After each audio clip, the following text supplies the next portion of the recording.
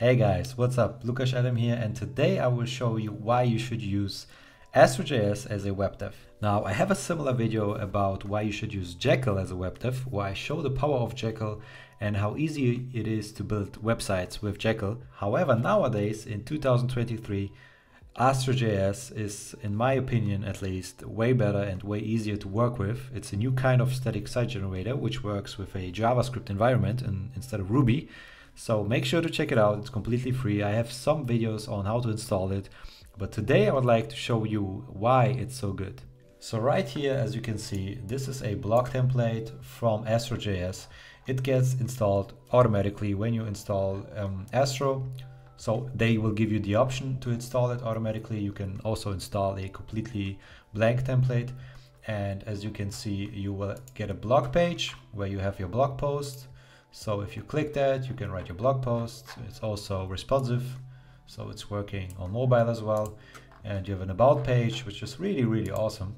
And as you can see, we have right here some introduction text and a button. And now I would like you to focus, first of all, on the button, and second of all, on this Astronaut Inc, which is right here, right here, and right here. And with the power of Astro.js, we are going to make this kind of dynamic. So let me show you. This is the code that I get from Astro. And don't be intimidated by that. It's, it's just easy HTML. So you don't really have to know how to code to use um, Astro.js, especially in times where ChatGPT is your friend. So let me show you. Right here is the name, right? And let's say I want to change the name. So I have to go through this H1 here. I have to go to, um, to this text right here to the strong tag and change it, change it here, and also change it right here in the H2. However, with Astro, all I can do is to create a variable. So I can say const and let's say name, right? Name of my company. And then we are going to call it, um, let's change the name to astronaut like this, right? Save it. And now we have the const, the variable, which is called name. And now what we can do is to take that name and place it right here with curly brackets at name. And if I save it, astronaut, as you can see. So Astro.js is taking this name from this variable right here. And the beauty is now I can paste it everywhere where we are going to find our name. So I can paste it right here. Let me delete this. And I can also paste it right here, just like so. Save it. And as you can see, we have our name everywhere. And the beauty now is if I want to change it again, I only have to change it at this one place here in my variable. So let me show you an example. Let's say we are going to name our company Astronaut Flow, right? Save it. And as you can see, it's has been changed right here, has been changed right here, and also right there. And this is the beauty of static site generators, especially with Astro, because it's working with JavaScript, where you can simply change variables and apply them everywhere on your page. Now, the second thing is even better.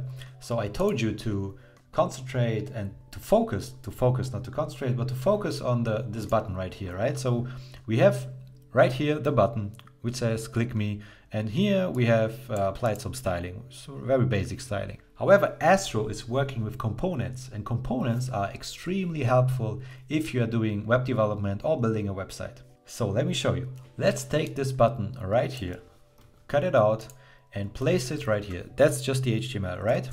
And then what we can do is to cut out the style as well. So take everything that has been connected to the button, take everything, cut it out, and place it into this component file, which is called button astro. Now all that lives in this file is everything that is connected to the button. So the button itself, the HTML and the styling.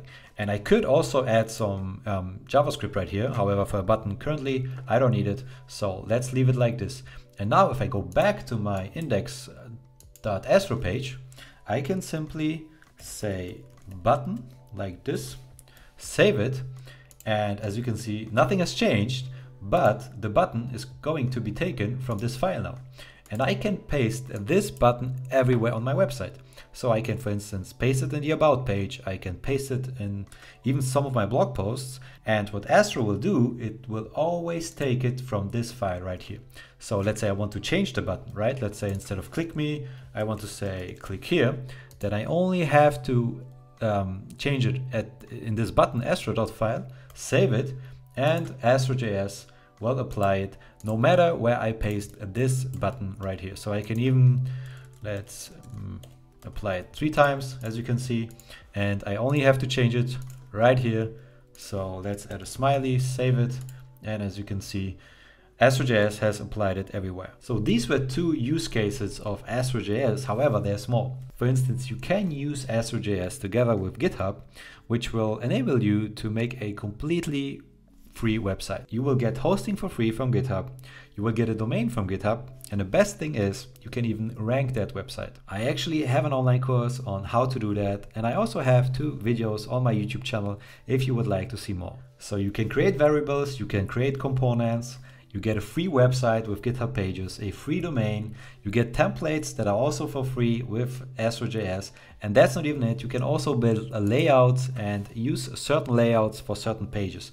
So for instance, imagine you write blog post, then you can create a layout especially for your blog post with a sidebar, you know, with the name of the author or something like this, and then you can reuse this layout everywhere on your page. So I will leave the link of Astro.js down in there in the description and if you have any trouble um, installing Astro, make sure to check out my other videos on YouTube where I show you how to install it, how to connect it to GitHub, and even how to rank the page on Google. Thanks for watching and see you next time.